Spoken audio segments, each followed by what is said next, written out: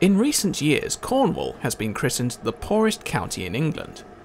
But in 1847, the name Cornwall was applied to this locomotive.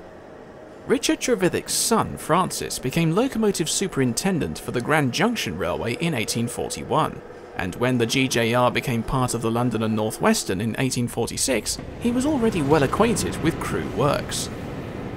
It's hard to imagine, but the single driver you see here was initially built as a 422 with the boiler much lower in the frames.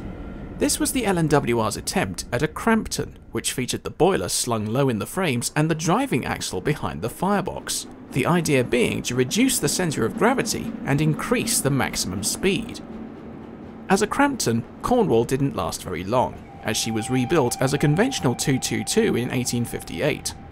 In doing so, she lost her low centre of gravity, but she didn't lose her pace. In 1884, Charles Rous-Marten claimed the engine had reached 70 miles an hour between Crewe and Chester, so at 37 years of age, she still had plenty of energy.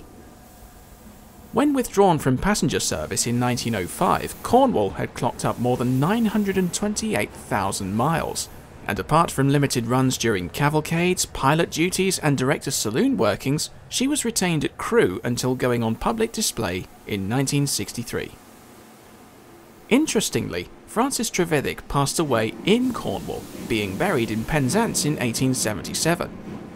As for the engine, any hopes of her running again may have been dashed in 1979, when, during an examination for the Rocket 150 cavalcade, the boiler inspector was said to have put his hammer straight through the barrel. So, will she run again? It's unlikely. Or, as they say in Cornwall, they'll do it directly,